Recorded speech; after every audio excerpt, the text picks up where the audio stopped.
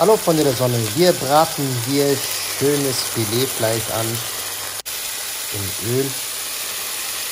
Ja, die Geschichte wurde mit Pfeffer und Salz gewürzt. Jetzt geben wir ein bisschen Butter dazu. Kann auch mehr sein. Genau. So, jetzt haben wir hier unsere vorgeschnittenen Zwiebeln. Die kommen da schön rein in die Pfanne. Die lassen wieder schön anbraten. Deckel drauf, schön garen lassen. Auf Stufe 4, mittlere Hitze. Hier habe ich schon Öl reingegeben. Hier kommt uns, das ist, wird unsere Fleischsoße. Die ganze Flüssigkeit vom Fleisch kommt da rein. Jetzt geben wir etwas Sahne rein. Super genial, ich liebe Sahne.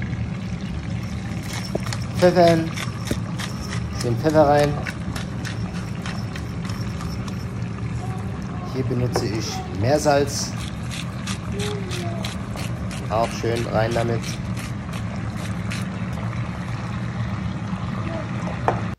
So, das alles umrühren.